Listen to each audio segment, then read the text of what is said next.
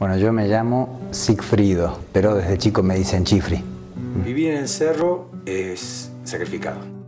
En general la gente de aquí del cerro está acostumbrada a muchas horas de soledad. Yo traté de reunir a las 25 comunidades y a las 18 escuelas y proponer obrar en conjunto. La idea es generar una calidad de vida en las personas que hagan posible no desarraigarse. Que la gente no esté obligada a irse de los cerros, sino que realmente si alguien se va, que así lo haga por propia elección, pero que el que se quiera quedar esté bien. Desde la educación y abriendo eh, horizontes nuevos, digamos. Y Dios quiera que sean tan diáfanos y lindos como el cielo de aquí de la altura.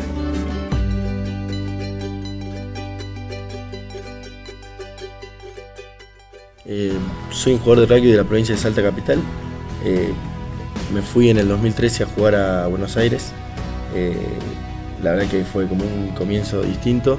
Con el tiempo conocí a Charlie Bori, un ex jugador de los Pumas, un hombre maravilloso que me trajo acá al Farcito, donde también vino Ian Jones, un entrenador de Pugeli, un club del norte de Gales, que me ofreció irme a mí allá una temporada Fui unos meses, salimos campeones de, la Liga del Norte.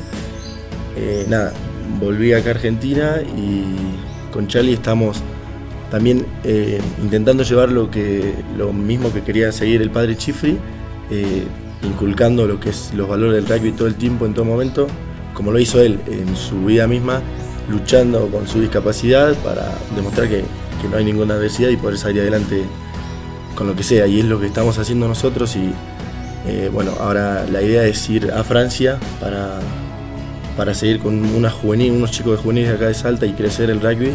Eh, la idea es que vaya yo como, líder para, para seguir con esto que estamos llevando.